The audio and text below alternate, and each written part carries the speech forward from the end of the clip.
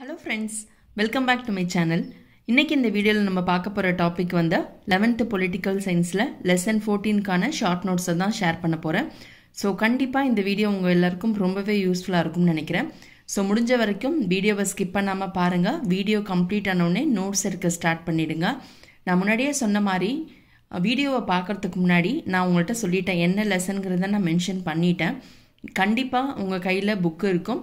புக்கில் வந்து ஃபஸ்ட்டு இந்த லெசனை ஃபுல்லாக ஒரு one or two times go through பண்ணிவிட்டு அதுக்கப்புறம் நீங்கள் என்னுடைய நோட்ஸை பார்க்கும்போது டெஃபினட்டாக உங்களுக்கு புரியும். அதை விட்டுட்டு நீங்கள் வந்து எடுத்த உடனே நோட்ஸை பார்த்துட்டு நீங்கள் வந்து ஸ்டார்ட் பண்ணிட்டீங்கன்னா அதான் படிக்க ஸ்டார்ட் பண்ணிட்டீங்கன்னா உங்களுக்கு சுத்தமாக அண்டர்ஸ்டாண்ட் ஆகவே ஆகாது. அதோட மெயினாக நான் யாருக்காக சொல்கிறேன்னா டிஎன்பிசி ஃப்ரெஷர்ஸ்க்கு சொல்கிறேன் நிறைய பேர் சேனலை ஃபாலோ பண்ணுறீங்கன்னு நினைக்கிறேன்.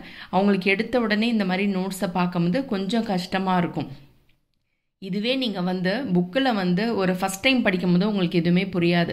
ஒரு ஒன் ஆர் டூ டைம்ஸ் நீங்கள் நல்லா ரீட் பண்ணிவிட்டு அதில் என்ன கான்செப்டை கொடுத்துருக்காங்கன்னு ஓரளவு அண்டர்ஸ்டாண்ட் ஆகிடும் அதுக்கப்புறம் நீங்கள் வந்து சேனலில் இருக்கக்கூடிய வீடியோஸை பார்க்கும்போது உங்களுக்கு ஈஸியாக புரியும். நோட்ஸ் எடுக்கிறதுக்கும் உங்களுக்கு ஒரு புரிஞ்சுட்டு நீங்கள் நோட்ஸ் எடுக்கலாம். அதை விட்டுட்டு நான் கொடுத்துருக்கதை அப்படியே நீங்கள் எழுதணுங்கிறது அவசியம் கிடையாது. உங்களுக்கு எப்படி எழுதுனா புரியுமோ அந்த மாதிரி நீங்கள் கூட நோட்ஸ் எடுத்துக்கலாம். ஜஸ்ட்டு என்னுடைய நோட்ஸை ஒரு மாடலாக கூட வச்சுக்கலாம்.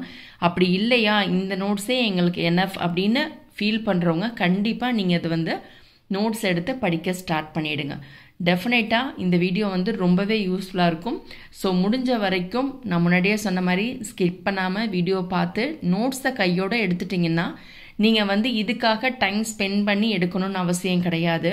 நீங்கள் நான் சொல்கிறத ஃபஸ்ட்டு அண்டர்ஸ்டாண்ட் பண்ணிவிட்டு அதுக்கப்புறம் நீங்கள் எடுத்துட்டிங்கன்னா உங்களுக்கு ரொம்பவே ஈஸியாக இருக்கும்.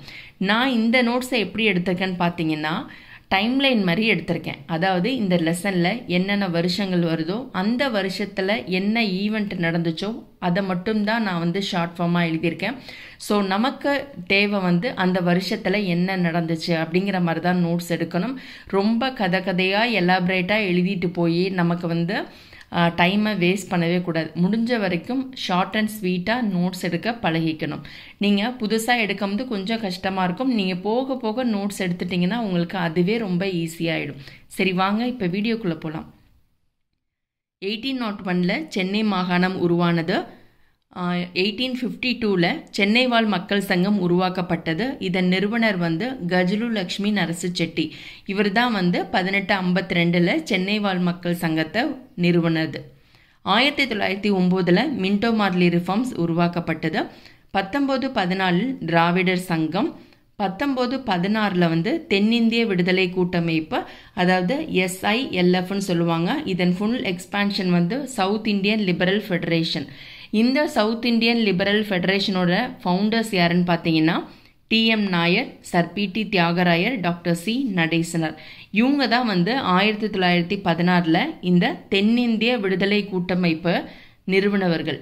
அடுத்ததாக ஆயிரத்தி தொள்ளாயிரத்தி பதினேழில் நீதி கட்சி. இந்த நீதி கட்சியுடைய முக்கியமான பத்திரிகைகள் என்னன்னு பார்த்தீங்கன்னா மூன்று பத்திரிகை கொடுத்துருக்காங்க. ஃபஸ்ட்டு ஒன் வந்து ஜஸ்டிஸ் திராவிடன் ஆந்திர பிரகாசிகா ஜஸ்டிஸ் அப்படிங்கிறது ஆங்கில மொழி பத்திரிகை திராவிடன் அப்படிங்கிறது தமிழ் மொழி பத்திரிகை ஆந்திர பிரகாஷிகா அப்படிங்கிறது ஆந்திர மொழி பத்திரிகை. நல்லா இந்த பத்திரிகைகள்லாம் கண்டிப்பாக நம்ம நல்லாவே ஞாபகம் வச்சுக்கணும். அந்த பத்திரிகைகள் வந்து எந்த மொழியை சேர்ந்தது அப்படிங்கிறதையும் நம்ம தெளிவாக படித்து வச்சுக்கணும்.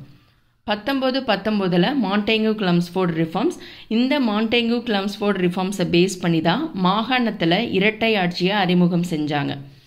ஆயிரத்தி தொள்ளாயிரத்தி இருபதில் முதல் தேர்தல் நடந்துச்சு. இந்த முதல் தேர்தலை பொறுத்த வரைக்கும் காங்கிரஸ் வந்து புறக்கணிச்சிருவாங்க. அதாவது தேர்தலில் பார்ட்டிசிபேட் பண்ண மாட்டாங்க. ஸோ நீதி கட்சி வந்து வெற்றி பெற்று ஏ. சுப்புராயலு தலைமையில் அமைச்சரவையை அமைப்பாங்க. அவர் தான் வந்து முதலமைச்சராக பதவி வகிப்பார். வருடம் வந்து ஆயிரத்தி தொள்ளாயிரத்தி இருபதுலேருந்து இருபத்தி ஒன்று வரைக்கும் தான் இவர் வந்து முதலமைச்சராக இருப்பார். அதுக்கப்புறம் பார்த்தீங்கன்னா இவர் இறந்துருவார்.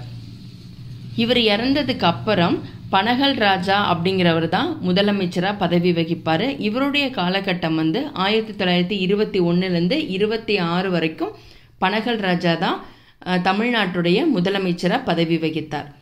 ஆயிரத்தி தொள்ளாயிரத்தி இருபத்தி ஒன்றுலேருந்து முப்பத்தி ஏழு வரைக்கும் நீதி கட்சி தான் ஆட்சி புரிஞ்சிருப்பாங்க. அந்த காலகட்டத்தில் நீதி கட்சியோட முக்கியமான சீர்திருத்தங்கள் என்னன்னு பார்த்தீங்கன்னா வகுப்பு வாரி அரசாணை. அதாவது பிராமணர் அல்லாத பிரிவினருக்கு அனைத்து துறைகளிலும் வேலை வாய்ப்பு அப்படிங்கிற முக்கியமான விஷயத்த ஆணித்தனமாக சொன்னது யாருடைய காலகட்டத்தில்னு பார்த்தீங்கன்னா நீதி கட்சியுடைய காலகட்டத்தில் தான் அதாவது நான் பிராமின்ஸும் எல்லா டிபார்ட்மெண்ட்லையும் பணிபுரிய வேண்டும் அப்படின்னு உறுதியாக இருந்தது நீதி கட்சி தான் ரெண்டாவது இந்து சமய அறநிலைய வாரியம் அமைக்கப்பட்டது. பஞ்சமி நிலங்கள் நாலாவது பாயிண்ட் வந்து மத்திய உணவு திட்டம் பரிசோதனை முறையில் யாருடைய அமைச்சரவையில் உருவாக்கப்பட்டதுன்னா இந்த நீதி கட்சியுடைய காலகட்டத்தில் தான் இந்த மத்திய உணவு திட்டத்தை ட்ரையல் முறையில் பண்ணி பார்த்துருக்காங்க. அடுத்தது கூட்டுறவு சங்கங்கள் மேம்படுத்தப்பட்டன. அடுத்த பாயிண்ட் வந்து மிராசதார் முறை ஒழிக்கப்பட்டது நீதி கட்சியுடைய காலகட்டத்தில் தான். திரும்பவும் ஒரு தடவை ஃபாஸ்ட்டாக பார்த்துடலாம். இப்போ நம்ம பார்த்துட்ருக்கிறது வந்து தமிழகத்தில் அரசியல் வளர்ச்சி பற்றி தான் பார்த்துட்ருக்கோம் ஸோ ஆயிரத்தி எண்ணூற்றி ஒன்றில் சென்னை மாகாணம் உருவாக்கப்பட்டது. ஆயிரத்தி எண்ணூற்றி ஐம்பத்தி ரெண்டில் சென்னை வாழ் மக்கள் சங்கம் கஜ்ரு லக்ஷ்மி நரசு செட்டி அவர்களால் உருவாக்கப்பட்டது. ஆயிரத்தி தொள்ளாயிரத்தி ஒம்பது மின்டோ மார்லி ரிஃபார்ம்ஸ். ஆயிரத்தி தொள்ளாயிரத்தி பதினாலு திராவிடர் சங்கம். ஆயிரத்தி தொள்ளாயிரத்தி பதினாறில் தென்னிந்திய விடுதலைகள் கூட்டமைப்பு சவுத் இந்தியன் லிபரல் ஃபெடரேஷன் இதன் நிறுவனர்கள் வந்து T M Nair sir P T Thyagarayar doctor C Natesanar. பத்தொம்போது பதினேழில் நீதி கட்சி நீதி கட்சியுடைய முக்கியமான மூன்று பத்திரிகைகள் வந்து ஜஸ்டிஸ் ஜஸ்டிஸ் அப்படிங்கிறது ஆங்கில மொழி பத்திரிகை திராவிடன் என்பது தமிழ் மொழி பத்திரிகை ஆந்திர பிரகாஷிகா வந்து ஆந்திர மொழி பத்திரிகை. பத்தொம்போது பத்தொம்போதில் மாண்டேங்கு கிளம்ஸ்ஃபோர்ட் ரிஃபார்ம்ஸ் அதாவது மாகாணங்களில் இரட்டை ஆட்சி அறிமுகம் செய்யப்பட்டது. எந்த ரிஃபார்ம்ஸை பேஸ் பண்ணின்னு பார்த்தீங்கன்னா மாண்டேங்கு கிளம்ஸ்ஃபோர்ட் சீர்திருத்தத்தை பேஸ் பண்ணி தான் பத்தொம்போது பத்தொம்போதில் இந்த மாகாணத்தில் இரட்டை ஆட்சி அறிமுகம் செய்யப்பட்டது. ஆயிரத்தி தொள்ளாயிரத்தி இருபதில் முதல் தேர்தல் நடைபெற்றிருக்கும். இந்த முதல் தேர்தலை காங்கிரஸ் வந்து புறக்கணிச்சிடும் இதன் காரணமாக நீதி கட்சி வெற்றி பெற்று ஆயிரத்தி தொள்ளாயிரத்தி இருபதுலேருந்து இருபத்தி ஒன்று வரைக்கும் ஏ. சுப்புராயலு என்பவர் தான் தமிழ்நாட்டுடைய முதலமைச்சராக பதவி வகிப்பார். அவர் இறந்ததுக்கப்புறம் ஆயிரத்தி தொள்ளாயிரத்தி இருபத்தி ஒன்றுலேருந்து இருபத்தி ஆறு வரைக்கும் பனகல் ராஜா என்பவர் தான் தமிழ்நாட்டுடைய முதலமைச்சராக பதவி வகித்தார். நீதி கட்சி வந்து எந்த காலகட்டம் வரைக்கும் ஆட்சியில் இருந்தாங்கன்னு பார்த்தீங்கன்னா ஆயிரத்தி தொள்ளாயிரத்தி இருபத்தி ஒன்றுலேருந்து ஆயிரத்தி தொள்ளாயிரத்தி முப்பத்தி ஏழு வரைக்கும் தமிழ்நாட்டில் ஆட்சி புரிஞ்சது வந்து நீதி கட்சி தான் அந்த காலகட்டத்தில் அவங்களுடைய முக்கியமான சீர்திருத்தங்கள் வந்து வகுப்பு வாரி அரசாணை அப்படிங்கிறது என்னன்னா பிராமணர் அல்லாத பிரிவினரும் அனைத்து துறைகளிலும் பணிபுரிய வேண்டும். அதாவது எல்லாருக்கும் ஈக்குவலாக அவங்களும் எல்லா துறைகளிலும் வேலை வாய்ப்பு வழங்க வேண்டும்.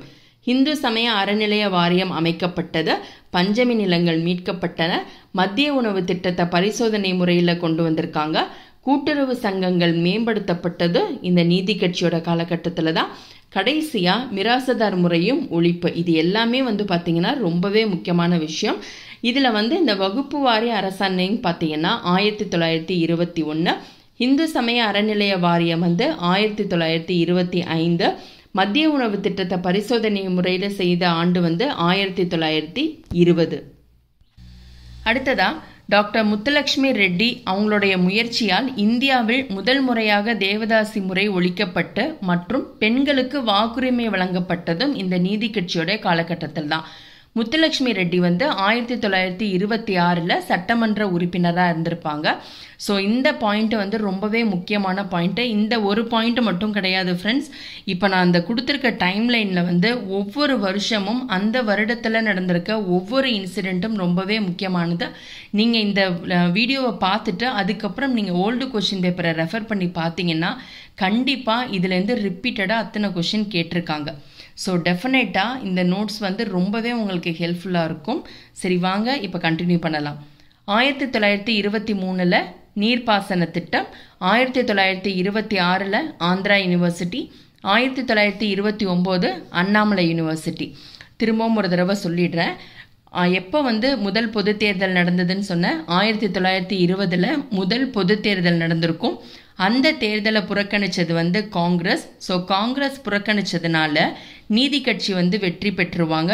நீதி கட்சி வெற்றி பெற்று அப்போதைய முதலமைச்சராக இருந்தது யாருன்னு பார்த்தீங்கன்னா ஏ. சுப்புராயலு. ஆயிரத்தி தொள்ளாயிரத்தி இருபதுலேருந்து இருபத்தி ஒன்று வரைக்கும் அவர் இருந்திருப்பார். அவர் இறந்ததுக்கு அப்புறம் இருபத்தி ஒன்றுலேருந்து இருபத்தி ஆறு வரைக்கும் பனகல் ராஜா அப்படிங்கிறவர் தான். இவரும் வந்து நீதி கட்சியை சேர்ந்தவர் தான். ஸோ அவர் தான் வந்து தமிழ்நாட்டுடைய முதலமைச்சராக விளங்கியிருப்பார். நீதி கட்சி வந்து எவ்வளோ காலகட்டம் வரைக்கும் அவங்க ஆட்சியில் இருந்திருப்பாங்கன்னா ஆயிரத்தி தொள்ளாயிரத்தி இருபத்தி ஒன்றுலேருந்து முப்பத்தி ஏழு வரைக்கும் தமிழ்நாட்டை ஆட்சி செய்தது வந்து நீதி கட்சி தான். நீதி கட்சியோட முக்கியமான சீர்திருத்தங்கள்னு எடுத்துக்கிட்டோம்னா வகுப்பு வாரிய அரசாணை இந்து சமய அறநிலைய வாரியம் அமைத்தல் பஞ்சமி நிலங்கள் மீட்கப்பட்டன. மத்திய உணவு திட்டத்தை பரிசோதனை முறையில் செய்து பார்த்துருப்பாங்க. கூட்டுறவு சங்கங்களை மேம்படுத்தப்பட்டன. மிராசதார் முறை ஒழிக்கப்பட்டது. அதோடு சேர்த்து இன்னொரு முக்கியமான விஷயம் என்னென்னா டாக்டர் முத்துலக்ஷ்மி ரெட்டி அவங்களுடைய முக்கியமான முயற்சியால் இந்தியாவிலேயே முதல் முறையாக அதாவது தமிழ்நாட்டில் முதல் முறையாக கிடையாது இந்தியாவிலேயே முதல் முறையாக தேவதாசி முறை ஒழிக்கப்பட்டது. அதோடு சேர்த்து பெண்களுக்கு வாக்குரிமை வழங்கப்பட்டதும் இந்த நீதி கட்சியுடைய காலகட்டத்தில் தான் ஸோ முத்துலட்சுமி ரெட்டி வந்து எந்த வருடத்தில் சட்டமன்ற உறுப்பினராக இருந்திருப்பாங்கன்னு பார்த்தீங்கன்னா ஆயிரத்தி தொள்ளாயிரத்தி இருபத்தி ஆறு நல்லா ஞாபகம் வச்சுங்க நீதி கட்சியுடைய காலகட்டத்தில் தான் இந்த முக்கியமான விஷயங்கள் அனைத்துமே தமிழ்நாட்டில் நடைபெற்றன. அதே மாதிரி நீர்ப்பாசன திட்டம் இருபத்தி மூணு ஆந்திரா யூனிவர்சிட்டி இருபத்தி ஆறு அண்ணாமலை யூனிவர்சிட்டி இருபத்தி ஒம்பது ஸோ இந்த ஆர்டரை நல்லா ஞாபகம் வச்சுங்க நீர்ப்பாசனம் ஆந்திரா அண்ணாமலை. வருஷம் வந்து இருபத்தி மூணு இருபத்தி ஆறு இருபத்தி ஒம்பது அடுத்ததா ஆயிரத்தி தொள்ளாயிரத்தி இருபத்தி அஞ்சில் பெரியார் வந்து சுயமரியாதை இயக்கத்தை ஸ்டார்ட் பண்ணுவார். பெரியாருக்கு நிறைய சிறப்பு பெயர்கள் இருக்குது அதில் ரொம்பவே முக்கியமானது அதாவது ஸ்பெஷலானது என்ன நிக்நேம்னு பார்த்தீங்கன்னா சிறைப்பறவை. எதுக்காக அவருக்கு சிறைப்பறவை அப்படிங்கிற ஒரு சிறப்பு பெயர் வந்ததுன்னா பதினைந்து வருடத்தில் இருபத்தி மூணு தடவை அவர் சிறைச்சாலைக்கு சென்றிருப்பார். இதன் காரணமாக அவருக்கு வழங்கப்பட்ட சிறப்பு பெயர் தான் சிறை பறவை. இவருடைய முக்கியமான நாளேடுகள்னு எடுத்துட்டோம்னா குடியரசு புரட்சி விடுதலை.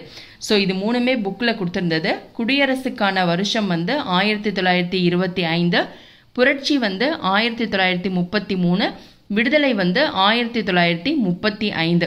இதோட சேர்த்து பகுத்தறிவு ரிவோல்ட்டையும் ஆட் பண்ணிங்க. பகுத்தறிவு அப்படிங்கிறது வந்து ஆயிரத்தி தொள்ளாயிரத்தி முப்பத்தி நாலு ரிவோல்ட் வந்து ஆயிரத்தி தொள்ளாயிரத்தி இருபத்தி எட்டு. ஸோ அடுத்து ஆயிரத்தி தொள்ளாயிரத்தி முப்பத்தி ஏழில் ராஜாஜி தலைமையில் காங்கிரஸ் அமைச்சரவை உருவானது. அதாவது ராஜாஜி தலைமையில் காங்கிரஸ் அமைச்சரவை எப்போ ஸ்டார்ட் பண்ணாங்கன்னு பார்த்தீங்கன்னா அமைச்சரவை உருவானது வந்து ஆயிரத்தி தொள்ளாயிரத்தி முப்பத்தி ஏழில் தான். அவங்க வந்த உடனே அடுத்த வருஷமே ஞாபகம் வச்சுங்க. அப்படி இல்லைன்னா ரெண்டு வருஷம் நமக்கு கொடுத்துருந்தாங்க. ஒன்று தேர்ட்டி செவன் அல்லது தேர்ட்டி எயிட்டு ஸோ ரெண்டுத்தையுமே நீங்கள் வந்து நோட் பண்ணி வச்சுங்க. எந்த வருஷம் கொடுத்துருக்காங்களோ அதை வந்து நம்ம மார்க் பண்ணிக்க வேண்டியதான் ஹிந்தி எதிர்ப்பு போராட்டம். அதாவது ஒரு புக்கில் பார்த்தீங்கன்னா தேர்ட்டி செவன் இருந்துச்சு. இன்னொரு புக்கில் தேர்ட்டி எயிட்டுன்னு இருந்துச்சு. ஸோ அந்த ரீசனுக்காக தான் நான் ரெண்டு வருஷத்தையுமே நோட் பண்ணி வச்சுருக்கேன்.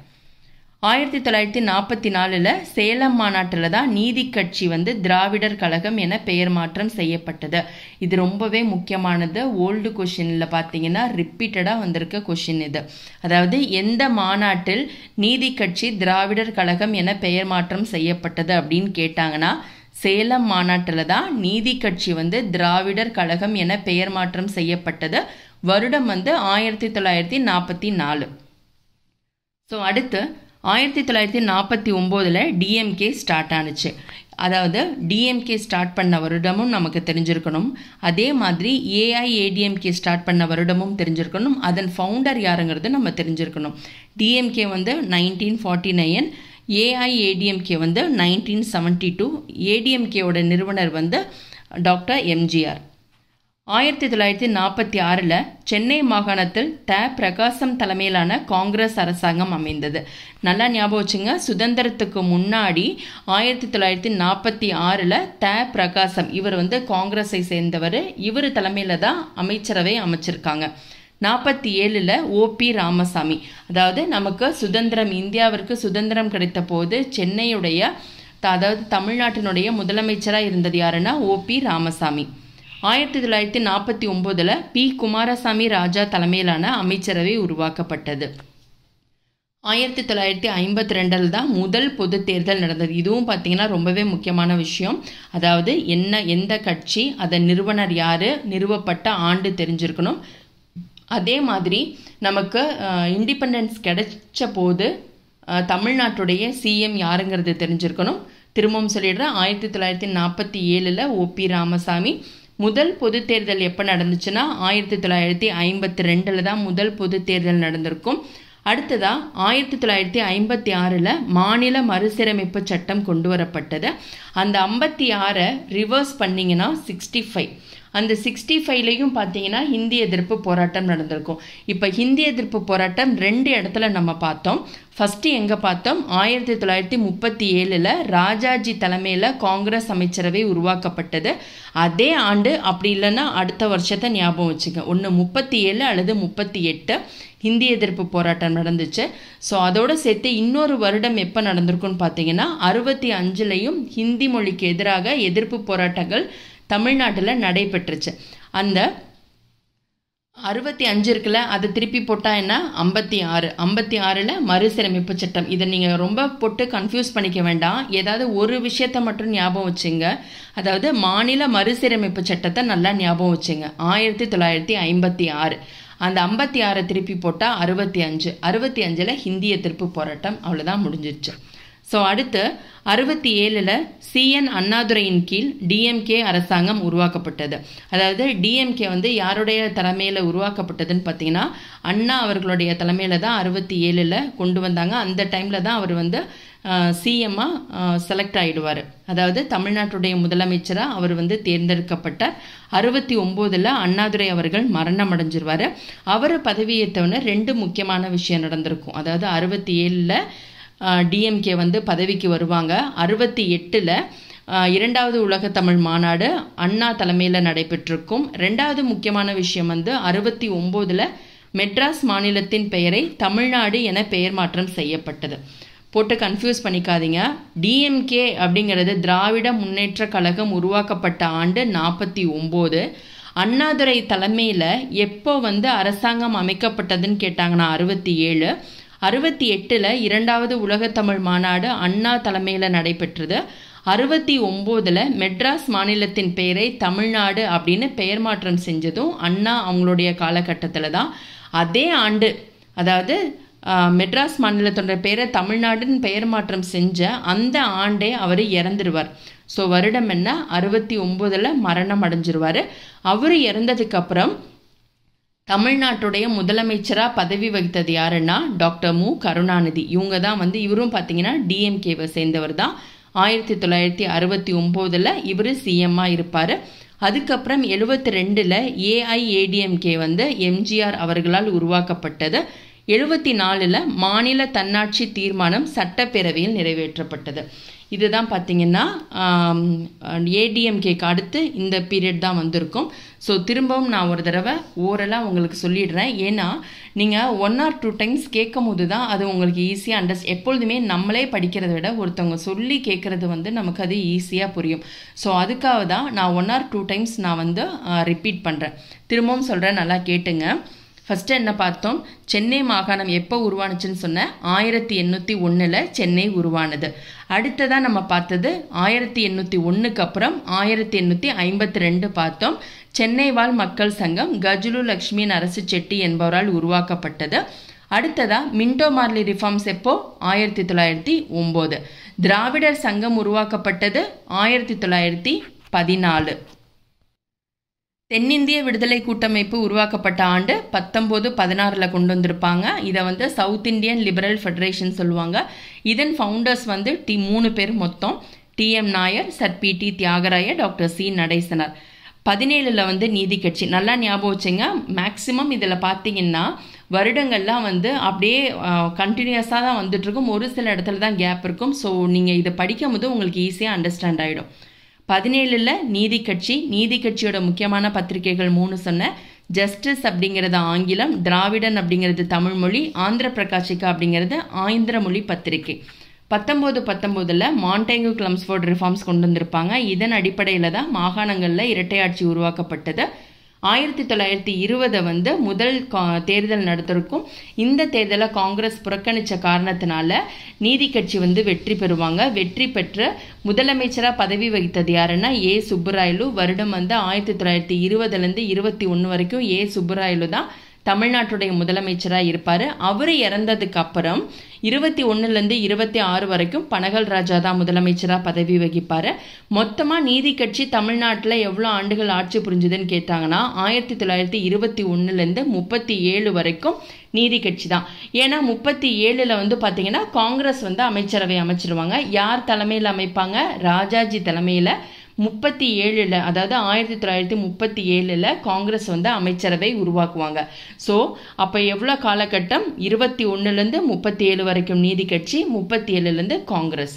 நீதி கட்சியோட முக்கியமான சீர்திருத்தங்கள்னு எடுத்துட்டோம்னா வகுப்பு வாரிய அரசாணை ஆயிரத்தி தொள்ளாயிரத்தி இருபத்தி ஒன்று இந்து சமய அறநிலைய வாரியம் ஆயிரத்தி தொள்ளாயிரத்தி இருபத்தி ஐந்து மத்திய உணவு திட்டம் பரிசோதனை முறையில் கொண்டு வந்த ஆண்டு ஆயிரத்தி தொள்ளாயிரத்தி இருபது கூட்டுறவு சங்கங்கள் மேம்படுத்தப்பட்டன மற்றும் மிராசதார் முறை ஒழிக்கப்பட்டது. இதோட சேர்த்த டாக்டர் முத்துலட்சுமி ரெட்டி அவங்களுடைய முயற்சியால தான் இந்தியாவிலேயே முதல் முறையாக தேவதாசி முறை ஒழிக்கப்பட்டு அதோடு சேர்த்து பெண்களுக்கு வாக்குரிமையும் வழங்கப்பட்டது வந்து நீதி கட்சியுடைய காலகட்டத்தில் தான் ஸோ இந்த பெண்களுக்கு வாக்குரிமை அப்படிங்கிறது ரொம்பவே முக்கியமான விஷயம் இல்லையா? ரைட் டு ஓட் அப்படிங்கிறது கண்டிப்பாக எல்லாருக்குமே உள்ள ஒரு உரிமை. ஸோ அது யாருடைய பீரியடில் வந்தது? நீதி கட்சியுடைய காலகட்டத்தில் தான் ஸோ டாக்டர் முத்துலட்சுமி ரெட்டி வந்து சட்டமன்ற உறுப்பினராக எந்த ஆண்டு இருந்திருப்பாங்கன்னு பார்த்தீங்கன்னா ஆயிரத்தி தொள்ளாயிரத்தி இருபத்தி ஆறு. இதோட சேர்த்து இன்னும் மூணு விஷயம் பார்த்தோமா? ஆயிரத்தி தொள்ளாயிரத்தி இருபத்தி மூணில் நீர்ப்பாசன திட்டம் இருபத்தி ஆறில் ஆந்திரா யூனிவர்சிட்டி இருபத்தி ஒம்போதில் அண்ணாமலை யூனிவர்சிட்டி இதை வந்து பார்த்தீங்கன்னா நீதி கட்சியோடைய சாதனைகள் அதாவது சீர்திருத்தங்கள்னு ஒரு பக்கம் லெஃப்ட் சைடு கொடுத்துருவாங்க. ரைட் சைடு வந்து வருஷத்தை கொடுத்து மேட்ச் பண்ணுற மாதிரி ஓல்டு கொஷின் பேப்பர்லாம் இருந்துச்சு. ஸோ எந்த ஒரு பாயிண்ட்டையும் மிஸ் பண்ணாமல் முடிஞ்ச வரைக்கும் கண்டினியூஸாக நோட்ஸ் எடுங்க. நீங்கள் வேறு எங்கேயாவது இந்த நீதி கட்சியுடைய சாதனைகளோ இல்லை பெரியாரை பற்றி டீட்டெயில்ஸ் உங்களுக்கு தெரிஞ்சாலோ அடிஷ்னலாக நீங்கள் உங்கள் நோட்டில் வந்து ஆட் பண்ணிக்கிட்டே வாங்க. அடுத்ததாக பெரியார் வந்து சுயமரியாதை இயக்கத்தை தோற்றுவித்த ஆண்டு ஆயிரத்தி தொள்ளாயிரத்தி இருபத்தி அஞ்சில் ஸ்டார்ட் பண்ணியிருப்பாரு. பெரியாருக்கான முக்கியமான சிறப்பு பெயர் வந்து சிறைப்பறவைன்னு சொல்கிறாங்க என்ன காரணத்தினால அவரை சிறைப்பறவைன்னு சொல்கிறாங்கன்னா பதினஞ்சு வருஷத்தில் இருபத்தி மூணு தடவை அவர் சிறைச்சாலைக்கு சென்றிருப்பார். இதன் காரணமாக தான் அவருக்கு வழங்கப்பட்ட சிறப்பு பெயர் வந்து சிறைப்பறவை. அவருடைய முக்கியமான நாளேடுகள்னு எடுத்துட்டோம்னா குடியரசு புரட்சி விடுதலை. குடியரசுக்கான ஆண்டு வந்து ஆயிரத்தி தொள்ளாயிரத்தி இருபத்தி ஐந்து புரட்சி வந்து ஆயிரத்தி தொள்ளாயிரத்தி முப்பத்தி மூணு விடுதலை வந்து ஆயிரத்தி தொள்ளாயிரத்தி முப்பத்தி ஐந்து. அதோடு சேர்த்து பகுத்தறிவையும் ரிவோல்ட் இந்த ரெண்டு நாளேடுகளையும் ஆட் பண்ணிங்க. பகுத்தறிவு வந்து ஆயிரத்தி தொள்ளாயிரத்தி முப்பத்தி நாலு ரிவோல்ட் வந்து ஆயிரத்தி தொள்ளாயிரத்தி இருபத்தி எட்டு. அடுத்ததாக இதோட பார்த்தீங்கன்னா நீதி கட்சி முடிஞ்சிருச்சு. அதுக்கப்புறம் முப்பத்தி ஏழில் காங்கிரஸ் வந்து அமைச்சரவை அமைப்பாங்கன்னு சொன்னேன். யாருடைய தலைமையில்? ராஜாஜி தலைமையில் ஆயிரத்தி தொள்ளாயிரத்தி முப்பத்தி ஏழு காங்கிரஸ். இதை மட்டும் ஞாபகம் வச்சுங்க. அவங்க வந்தோடனே முப்பத்தி ஏழு அல்லது முப்பத்தி எட்டுலேயே ஹிந்தி எதிர்ப்புக்கான போராட்டமும் ஸ்டார்ட் ஆகிடும் இன்னொரு வருஷம் என்ன சொன்னேன்? அறுபத்தி அஞ்சில் ஹிந்தி எதிர்ப்பு போராட்டம் நடக்கும். அந்த நம்பரை அப்படியே ரிவர்ஸ் பண்ணால் மாநில மறுசீரமைப்பு சட்டம். நாற்பத்தி நாலில் தான் சேலம் மாநாட்டில் நீதி கட்சி வந்து திராவிடர் கழகம் அப்படின்னு பெயரை மாற்றம் செஞ்சுருப்பாங்க. நாற்பத்தி ஒம்போதில் திராவிட முன்னேற்ற கழகம் உருவாக்கப்பட்டது. நாற்பத்தி ஆறில் சென்னை மாகாணத்தில் பிரகாசம் தலைமையிலான காங்கிரஸ் அரசாங்கம் அமைந்தது. நாற்பத்தி ஏழு அதாவது சுத் இந்தியாவிற்கு சுதந்திரம் கிடைத்த போது தமிழ்நாட்டுடைய முதலமைச்சராக இருந்தது யாருன்னா ஓ பி ராமசாமி. நாற்பத்தி ஒம்போதில் பி குமாரசாமி ராஜா தலைமையிலான அமைச்சரவை அமைக்கப்பட்டது. ஐம்பத்தி ரெண்டில் தான் முதல் பொது தேர்தல் நடந்துச்சு. ஐம்பத்தி ஆறு மாநில மறுசீரமைப்பு சட்டம் அறுபத்தி அஞ்சில் ஹிந்தி எதிர்ப்பு போராட்டம் அறுபத்தி ஏழில் சிஎன் அண்ணாதுரையின் கீழ் டிஎம்கே அரசாங்கம் தமிழ்நாட்டில் அமைக்கப்பட்டது. ஸோ அப்படின்னா என்ன அர்த்தம்னா அவர் தான் வந்து தமிழ்நாட்டுடைய முதலமைச்சராக ஆயிரத்தி தொள்ளாயிரத்தி அறுபத்தி ஏழில் பதவி வகித்திருக்காருன்னு அர்த்தம். அவர் பதவிக்கு வந்தோடனே அதாவது தமிழ்நாட்டுடைய முதலமைச்சராக அண்ணா பதவி ஏற்ற உடனே செய்த முக்கியமான விஷயங்கள் ரெண்டு. ஒன்று வந்து அறுபத்தி எட்டில் இரண்டாவது உலகத்தமிழ் மாநாடு அண்ணா தலைமையில் தான் நடைபெற்றிருக்கும். அறுபத்தி ஒம்போதில் மெட்ராஸ் மாநிலத்தின் பெயரை தமிழ்நாடு அப்படின்னு பெயரை மாற்றம் செய்த பெருமையும் வந்து யாருக்கு சேரும் பார்த்தீங்கன்னா சிஎன் அண்ணாதுரை அவர்களையே சேரும். அறுபத்தி ஒம்போதில் சிஎன் அண்ணா அவர்கள் மரணம் அடைஞ்சிருவார். அவருடைய மரணத்திற்கு அப்புறம் தமிழ்நாட்டுடைய முதலமைச்சராக பதவி வகித்தது டாக்டர் மு. கருணாநிதி. வருஷத்தை மறந்துடாதீங்க அறுபத்தி ஒம்பது. கன்ஃபியூஸ் பண்ணுறதுக்காக நமக்கு எழுபதுன்னு கூட கொடுக்கலாம். நம்ம என்ன நினைப்போம்? அறுபத்தி ஒம்போதில் அண்ணா இறந்த உடனே ஸோ அடுத்த வருஷம் தான் கலைஞர் அவங்க பதவி வகித்திருப்பாங்கன்னு நினை நினைப்போம். ஸோ அது வந்து ரொம்பவே தப்பு. ஆயிரத்தி தொள்ளாயிரத்தி அறுபத்தி ஒம்போதில் அண்ணா இறந்த உடனே அதே ஆண்டு டாக்டர் மு. கருணாநிதி வந்து தமிழ்நாட்டுடைய முதலமைச்சராக பதவி வகிப்பாங்க. எழுபத்தி ரெண்டில் ஏஐஏடிஎம்கே டாக்டர் எம்ஜிஆர் அவர்களால் உருவாக்கப்பட்டது. அதாவது எம்ஜி ராமச்சந்திரன் அவர்களால் உருவாக்கப்பட்டது. ஷார்ட் ஃபார்ம் தான் எம்ஜிஆர்னு சொல்லுவாங்க. ஆயிரத்தி தொள்ளாயிரத்தி எழுபத்தி நாலில் மாநில தன்னாட்சி தீர்மானம் சட்டப்பேரவையில் நிறைவேற்றப்பட்டது. இதோட பார்த்தீங்கன்னா அந்த eleventh political science lesson fourteen title வந்து தமிழகத்தில் அரசியல் வளர்ச்சி. இதற்கான டைம்லைன் அதாவது ஷார்ட் நோட்ஸ் வந்து கம்ப்ளீட் ஆயிடுச்சு. ஸோ கண்டிப்பாக இந்த வீடியோ உங்களுக்கு பிடிச்சிருக்குன்னு நினைக்கிறேன். இந்த வீ இந்த வீடியோ உங்களுக்கு பிடிச்சிருந்தால் லைக் பண்ணுங்கள் ஷேர் பண்ணுங்கள் கமெண்ட் பண்ணுங்கள் மறக்காமல் சப்ஸ்கிரைப் பண்ணுங்கள் தேங்க்யூ ஸோ மச்